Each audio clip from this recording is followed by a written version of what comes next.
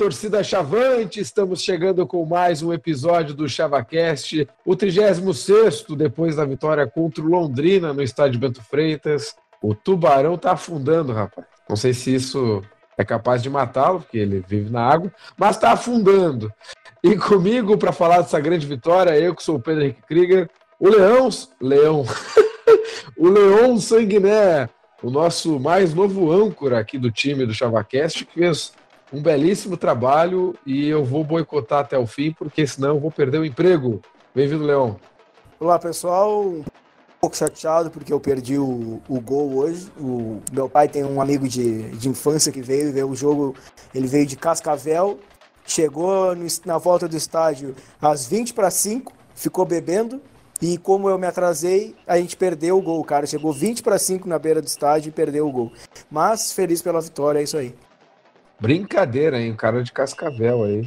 Tinha muita Cascavel lá na região, falando com propriedade. Mas é verdade mesmo. É, Gustavo Iribarren, bem-vindo, Gustavo, que vibrou muito aí na, na Baixada, tenho certeza. Boa noite a todos. Hoje eu tava de sangue doce, porque eu tinha certeza da vitória. Levei minha filhada, tem três aninhos e meio, são cinco jogos, cinco vitórias. Que coisa linda, hein? Pelo amor de Deus, o retrospecto de fazer inveja a qualquer um, com certeza. Brasil que venceu Londrina, gol do Ednei, passou um sufoco no segundo tempo, mas foi uma vitória, dá para dizer assim, é, não sei se dá para dizer tranquila, mas foi uma vitória que o Brasil confirmou esses três pontos em casa, a expectativa nossa de vencer o Londrina, que perdeu as últimas cinco, contando com hoje, perdeu as últimas cinco, está em queda livre, nós fomos o 11 primeiro com 28 pontos, parece que a gente não sai do lugar, mas estamos ganhando. Isso que é importante, estamos ganhando. Eu quero saber do nosso amigo Leão, que estava com o amigo de Cascavel, que não viu o gol. e que, inclusive, temos que registrar aqui nos anais do ChavaCast, o Leão é, me cedeu aí o finalzinho da sua cerveja, da sua polar. Muito obrigado, Leão. Tava bem geladinho. O que, que tu achou da vitória, Leão? Pô, eu achei importantíssima né, essa vitória, principalmente pelo, porque vencemos um adversário direto na briga contra o rebaixamento. Eu sempre disse que o time do Londrina estava enganando no campeonato lá em cima, porque eu acho o time do Londrina bem fraco. Uh, talvez seja o time do Londrina mais fraco dos últimos anos e, e não, não tá tendo muito muito o Dagoberto, né? O Dagoberto tá suspenso, aí já não jogou outro jogo, não veio, não veio hoje para Pelotas. Uh, o time do Londrina me parece bem fraco, estava na, na turma errada, agora está na turma deles, que é a turma ali de baixo. Uh, muito importante essa vitória, porque o Brasil bota sete pontos, né, nesse momento. Pode mudar as coisas. Mas nesse momento o Brasil está a sete pontos da zona de rebaixamento e cada vez mais próximo dos 45 pontos, cada vez mais próximo de conseguir esses 45 pontos com uma certa tranquilidade, tranquilidade que não tivemos no jogo de hoje, né? O Brasil fez o, o que não costuma fazer, fez um gol cedo e aí sofreu. O Brasil uh, parou de jogar, fez o gol, se acomodou na, no, no resultado e o Londrina cresceu na partida, teve algumas oportunidades ali de de empatar o jogo. Não conseguiu porque, novamente, o time do Londrina é bem fraco. Mas o que importa é que o Brasil conquistou esses três pontos, passando muito pela atuação do Eduardo Persson, que uh, foi a surpresa né, da, do, do jogo, ele no lugar do Jatobá, e se mostrou uma, uma alternativa interessante. Né? Parece que o Brasil tem várias, uh, várias formas de usar esses, esses três volantes que temos. Ainda tem o Washington aí, né? Mas Leandro Leite, Jatobá e Persson. E os, as, os três formatos estão funcionando, né? Claro, o, o Leite e Jatobá talvez seja o que menos funcione no momento, mas é, acho que o Brasil está seguro aí no seu, nos seus volantes, conseguindo que todas as formações funcionem. E hoje funcionou. Claro, claro o Leandro Leite com, com toda a sua limitação técnica que tem, mas também não comprometeu no jogo de hoje. E o Persson jogou muito hoje, né? Fazia tempo que o Brasil não via um, um volante chegando tanto ao ataque, conseguindo Uh, tratando tão bem a bola como ele tratou hoje. Uma pena que provavelmente no fim do ano perderemos ele, mas foi o, uma boa surpresa aí, ele come, pela, pela, primeira vez começando uma partida e jogando muito bem e o Brasil conquistando esses três pontos imprescindíveis na tabela de classificação. Perfeito, Leão. E tu, Gustavo, concordas com a avaliação do Leão? O Brasil agora dá para dizer que está respirando na tabela? Não, concordo 100%. O Brasil hoje fez um, na minha visão, um ótimo primeiro tempo. Criou chances de gol, temos um, alguns jogadores dementes, que nem o, o Murilo Rangel tem dificuldade enorme de jogar futebol, mas isso não atrapalhou a questão, criou, criou jogadas, a própria jogada do gol foi bem trabalhada, apesar de que a gente estava brincando antes de, antes de entrar no ar aqui que, que o, o Pelezinho mais roubou a bola do Christian, que o Christian queria continuar a jogada, mas enfim, foi uma jogada bem trabalhada, foi bem visto, o Ednei apareceu muito bem, não, não é o normal o lateral aparecer ali onde ele apareceu, e tivemos mais chance de gol. O problema é que, na minha visão, o Londrina foi melhor que o Brasil, foi melhor que o Brasil no segundo tempo e melhor e mais do que o Brasil foi melhor que eles no primeiro. O empate teria sido o resultado justo da partida. Não que o Brasil não tenha merecido ganhar, não é isso. Fez por fazer o gol, foi efetivo, isso é, é a máxima do futebol, mas o Brasil precisa não oscilar tanto. O Persson é a grande surpresa dos últimos jogos, aí vem jogando muito bem. Ainda acho que o Jatobá teria dado uma melhor consistência defensiva para saída de bola e para saída de bola no segundo tempo. O Leite, se eu não me engano ali, depois o leitor vai me corrigir, o ouvinte vai me corrigir aí depois, mas se eu não me engano, o Leite não teve nenhum desarme. O Guerreiro postou as estatísticas ali, não, não desarmou nenhuma vez no jogo. Então não dá para ser feliz assim. E aí o Londrina cresceu, não foi só demérito do Brasil que recuou, estava fazendo a marcação muito baixa, tava, mas o Londrina também começou a botar a bola no chão. No primeiro tempo eles só fizeram bago, no segundo eles começaram a tocar e abrir mais. O, o que eles eles viram que o Ricardo Luz hoje estava uma avenida e, e, principalmente ali teve um lance que ficou bem claro ali que o Natan Cachorrão entrou e o Cadu saiu bem lá no bico da área. quer dizer, saiu bem no, no, no coisa, mas quase no rebote, quase tomou um gol. Mas enfim, o Ricardo Luz foi uma avenida para variar, mas não foi uma atuação péssima dele, foi só ruim, nada fora do comum. Então acho que tivemos, tivemos um bom primeiro tempo, com boa construção de jogada, com um, um fechando bem os espaços. Londrina não conseguiu subir a, subir a marcação em momento algum. O Brasil pressionou Londrina no primeiro tempo e o segundo foi um show de horrores. Não tomamos empate, graças a Deus, sorte não, mais sorte que juízo saímos com os três pontos e é aquele negócio, né? São sete pontos do Z4, são só quatro do G4, né? Olha só, que momento. Acho que vocês do jogo, vocês falaram tudo, né, Guris? Porque é, o jogo foi bem assim, né? É, esse primeiro tempo. O segundo tempo, o Londrina, se tivesse um pouco mais de qualidade, teria empatado a partida. Mas o lance que mais me aterrorizou foi aquela última final, a final, a última falta ali no finalzinho do jogo que felizmente o cara transformou a bola num ovo, né, de tão ruim que foi o chute. Mas era uma falta muito perigosa dali. Eu tava apavorado, tava, já tava vendo a bola entrar e sair o empate. Mas o, o Eduardo Persson realmente foi a grande surpresa, né? Até eu brinquei no grupo ali durante o jogo que ele buscava o ponto futuro e o time do Brasil não acompanhava o raciocínio, ele dava muito passe já imaginando que o jogador entraria e às vezes não entrava, né? E, e ele ajudou tanto na, no ataque como na defesa. Eu gostei muito, assim, é, é mais do que uma opção. Acho que aos poucos ele vai, ele vai praticamente pegar para si a vaga de titular. Né? Ele está reivindicando ela e a partida de hoje, claro, tem, tem que ter sequência, né? Mas a partida de hoje foi excelente, né? E a vitória foi fundamental porque é uma briga direta. O Londrina começou muito bem no campeonato, está vivendo já algumas boas rodadas, uma fase terrível. Já são cinco derrotas na cola, já nos últimos jogos, mas a sequência de derrotas é maior do que isso. E, e é o Londrina, né? Muito bom vencer esses caras. E mais uma vez parabenizar a torcida do Brasil. Tava frio, eu saí de casa achando que não tava tanto frio e, e ralei. e a torcida do Brasil compareceu um grande número, apesar do Bordelô ter dado 3 mil e pouco ali o estádio do Brasil deve caber seis, né?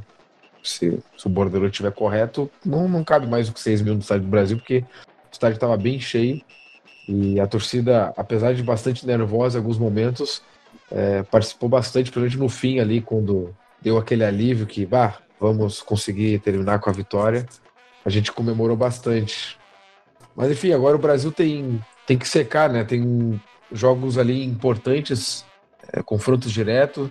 Tem Guarani Oeste, que o Gustavo comentou de ser um empatezinho ser, ser fundamental ali.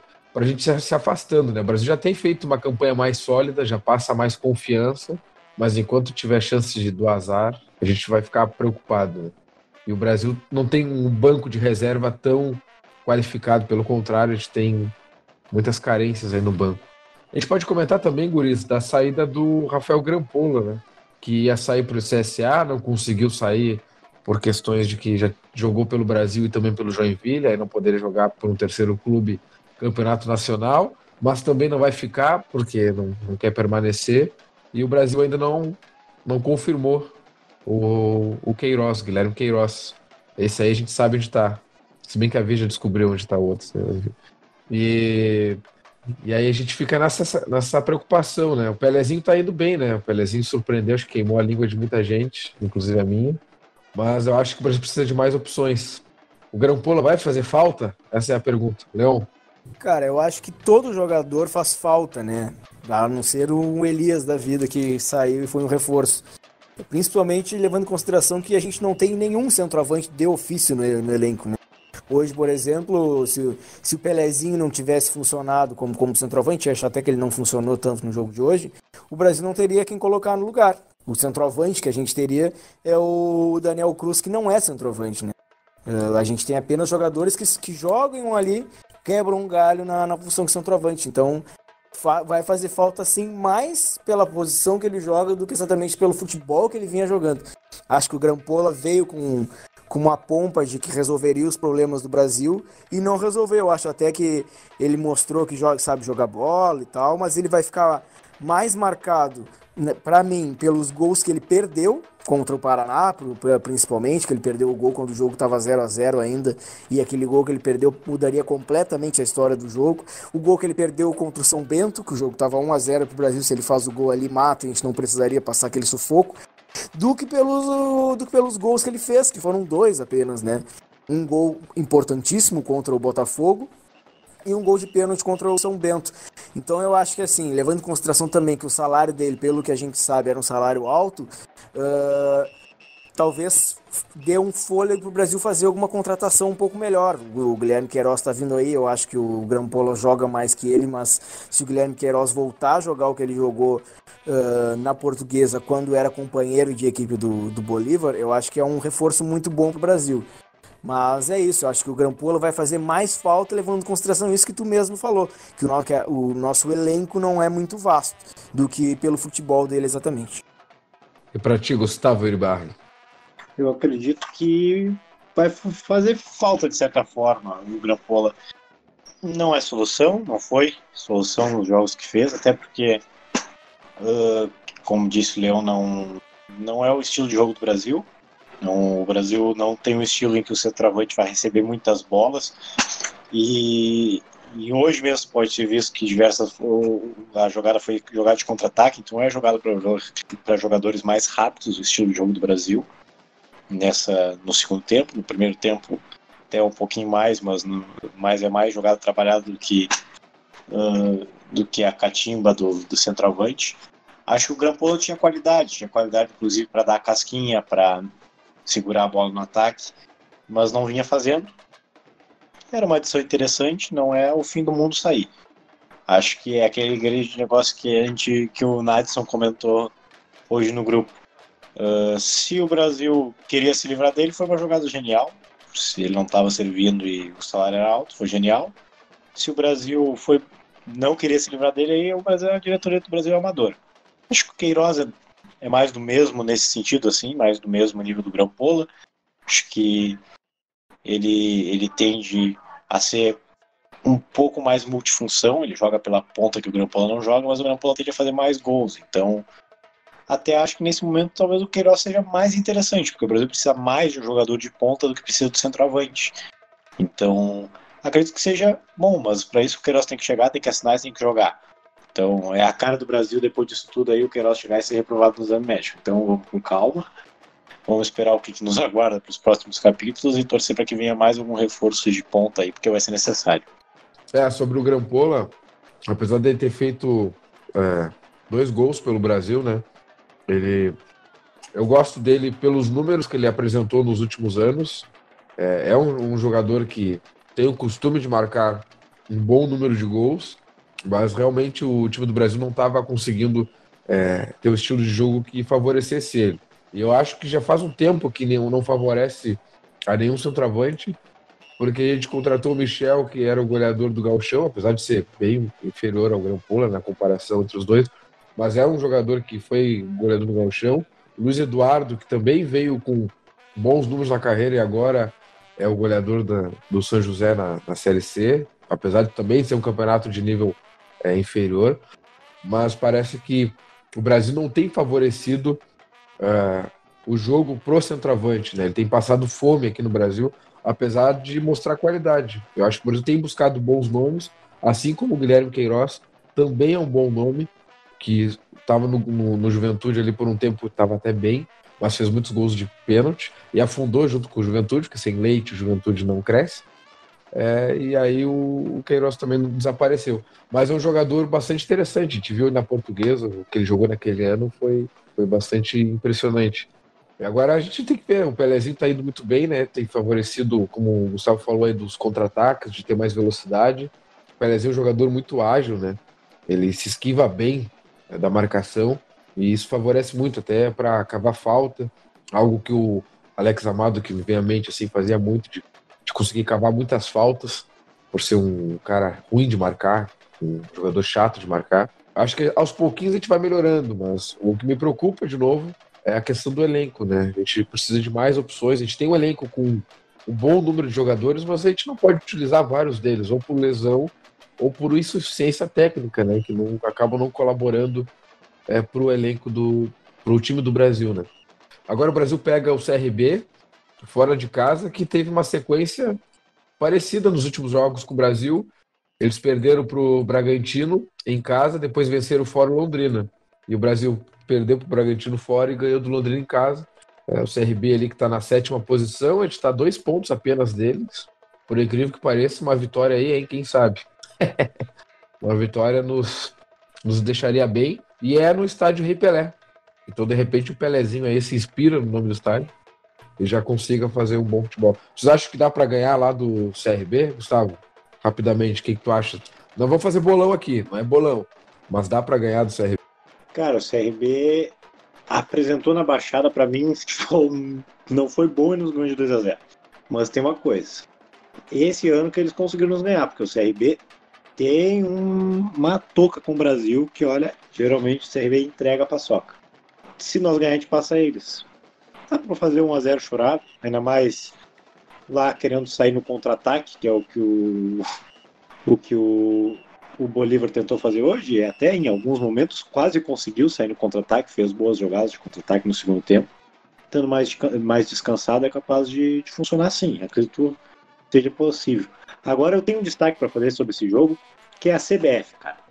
Um jogo terça-feira, e olha, eu olhei no Sofá Score achei que era mentira, cara. Aí eu fui lá no Globo Esporte e diz a mesma coisa. Terça-feira, às 15 para 7 da noite, cara. Às 18h45. Qual é o sentido desse horário? Não tem explicação. Deve ser feriado lá, mas mesmo assim, pelo amor de Deus. É feriado lá? Não é. Acho que nem é feriado também. Puta que pariu. é a grade de programação da televisão. Não, mas não, não, existe. Quem, quem é que olha futebol às 18h45? Eu não consigo entender isso. não consigo. Tem que ter um motivo específico para um jogo às 18h45. Porque às 19h15 já é difícil o cara chegar em casa e sentar a bunda na cadeira e ver o jogo. Imagina às 18h45. É, o CRB que ainda joga com o Paraná.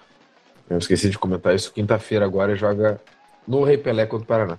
E para a gente consegue vencer lá? Até tomando, como o Gustavo falou, tomando como base confrontos anteriores em outros anos. Eu acho que, para além do, dos confrontos anteriores, que realmente o Brasil teve uma, uma ampla superioridade em relação ao, ao, CRB, a gente tem que levar em consideração que a campanha do CRB recentemente em casa ela não é boa, né? O CRB, claro, foi do Bragantino, mas tomou 3 a 0 andou perdendo alguns outros jogos uh, em casa e recuperando os pontos fora. E o Brasil tem feito bons jogos fora de casa. Se a gente for para pensar, o jogo contra o Bragantino, para mim, o Brasil jogou bem. Contra o Atlético Goianiense, o Brasil conquistou um ponto importante. Então eu acho que não seria nenhum absurdo o Brasil vencer o, o CRB lá. Acho que vai ser um jogo de iguais, com a leve superioridade do CRB por jogar em casa, né? Mas eu acho que o Brasil pode se jogar como vem jogando uh, de forma séria, né? Uh, e querendo jogar, acho que o Brasil pode sim conquistar essa vitória que seria aí um divisor de águas para o Brasil no, no, campeonato. Aí sim o Brasil começaria já de vez a pensar lá em cima na tabela. Uh, mas é isso, acho que o Brasil tem que. Acho que o Brasil tem que jogar pensando que pode vencer. Isso me pareceu. Cara, a, acho que depois que o Brasil tomou o segundo gol do Bragantino, acho que até se. Uh, ficou se apequenou demais. Mas acho que o Brasil jogou contra o Bragantino sem pensar que era o Bragantino. O Brasil jogou, claro, sabendo que, que seria jogo difícil, mas jogou pensando que poderia vencer aquele jogo contra o Bragantino. E se o Brasil jogar contra, contra o CRB como jogou contra o Bragantino, pode sim conquistar uma vitória lá no, no Rei Pelé. Agora é o Brasil então... tem, uma arma, tem uma arma secreta. O Brasil vai estar jogando em casa, né? O, o Rei Pelézinho. Rubinho ou não? Rubinho, Rubinho, o primeiro Rubinho no ChamaCast. Que Será? loucura, não ouvi. Não ouvi. Impressionante. Impressionante. Fazer o convite, aproveitar e ter esse momento de grande alta astral aqui do, do ChavaCast. O pessoal está participando já no WhatsApp do grupo do ChavaCast. Eu vou compartilhar, nós vamos compartilhar no, nas redes sociais nos próximos dias mais uma vez o link. Já tem 30 participantes, a maioria corneteiros, no grupo do ChavaCast no WhatsApp. E ali a gente tem compartilhado, tem chegado umas coisas bem interessantes ali uns empolgou também. Tem, bem, tem sido bem legal. Para quem nos ouve participar, mandar seu áudio ali também no grupo, ainda ninguém fez isso. Estamos é, na bronca. Mas em algum momento alguém vai mandar áudio. Até Pessoal pra... que é só festa. Só quer festa, né, Leão? O Leão que é fotógrafo oficial. Hã? Tu vai editar agora em seguida? Porque a gente podia pedir pra gurizada mandar um áudio ali na, na, na saideira agora. Tá pedindo. Não, não. Eu... Um. Boa ideia, boa ideia. Eu tava pensando em editar amanhã é, na hora do intervalo. Então pode ser. Eu vou. Pessoal, agora, a partir de agora, áudios do grupo Java. Baita vitória, mais um passo rumo à nossa permanência na Série B e mostrando mais uma vez que a presença da nossa torcida é o que faz a diferença dentro da Baixada. Esse foi o áudio da Alice Silveira, que inclusive já participou aqui do nosso podcast, participou como entrevistada, né? E também deu suas opiniões. Ela que vai participar de outros episódios, já foi convidada, já aceitou o convite. É só uma questão de a gente marcar a, a participação dela. Obrigado, Alice, pelo áudio. Antes de passar o próximo áudio, que é bastante especial, relembrando que o link para o nosso grupo no WhatsApp vai estar nas nossas redes sociais ali do ChavaCast. A gente vai botar o link convite, principalmente no Twitter, ChavaCast, para quem não nos segue lá, é, para ficar ligado aí para participar do nosso grupo, que já tem 30 pessoas e a gente ficar debatendo ali de boa sobre o Chavante. E agora o próximo áudio, antes do episódio seguir o curso, é de Carlos Jatobá. Leon Sanguiné, aí, nosso grande âncora, gravou com ele e ele mandou esse seguinte recado. Fala torcedor Chavante, aqui é o Jatobá. Queria mandar um abraço a todos e agradecer o carinho da torcida que tem sido incrível e continue indo nos jogos nos apoiando que nós vamos fazer um grande segundo turno. Obrigado Jatobá. Sem mais delongas, seguimos viagem então com o nosso podcast. E mandem também, por favor, suas opiniões sobre o Leão Âncora. Gostei muito. Fiquei muito orgulhoso ouvindo na Espanha. Agradeço, agradeço, aprendi com, com o melhor. Que isso, cara. Eu vou fazer... Não, mas é, é muito bom é, ver o Chavacast sair, cara. Eu tive a experiência de um cara que só ouve o Chavacast, assim, que não participa. Assim, foi legal. Então é isso, gurizada. Quer encerrar com alguma música? Alguma... Tem alguma música com o nome Ednei? Acho que não, né? Mas deve ter alguma, algum trocadilho pra, para fazer. Até amanhã de pensa em Tem o cantor e o compositor Ednei, mas não vai nos ajudar, não. Não faço ideia quem seja. então tá, gurizada, vamos encerrar com alguma música. Até a edição a gente vai pensar em algo. Você deve já estar ouvindo essa música aí, quem tá no Spotify, no YouTube, sei lá. Agradecemos a audiência e voltamos depois de CRB e Brasil no estádio Rei Pelé na próxima terça-feira. Uma semaninha para o Brasil trabalhar e viajar. É longe, Alagoas. Pelo amor. Valeu, gurizada. Obrigado, Leão. Obrigado, Gustavo. Valeu. Valeu, gurizada. Salve o Brasil, o campeão do bem-querer. Brasil, Brasil, Brasil, as tuas cores são nosso sangue, a nossa raça. Brasil, Brasil, Brasil.